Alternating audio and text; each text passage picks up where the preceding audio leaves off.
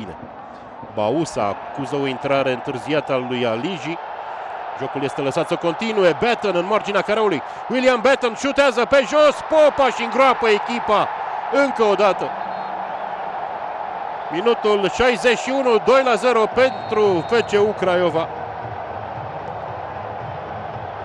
Și un cartonaj galben pe care îl vede Aligi pentru intrarea de la centrul terenului asupra lui Bausa.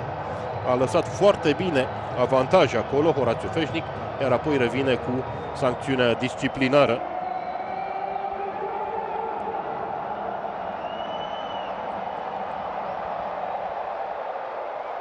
Da, este un fault uh, după toate categorisirile de cartonaj galben. Foarte inspirat arbitrul din Cluj, care a făcut semn că jocul trebuie să continue.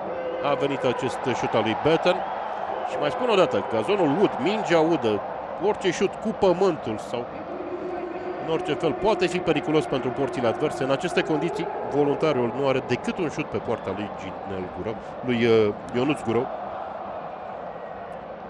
Vreme ce Popa cedează, iată, încă o dată, 2 la 0.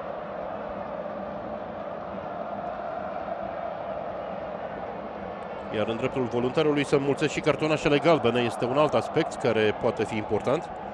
Damașcan, Rață și Aliji, cu toții avertizați până acum și care trebuie să evolueze cu mare atenție.